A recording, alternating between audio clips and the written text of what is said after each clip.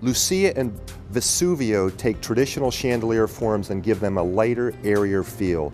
Using a restrained touch, slender structures are actually festooned with crystal drops in a contemporary cut and draped with a delicate swag that falls freely from the crown.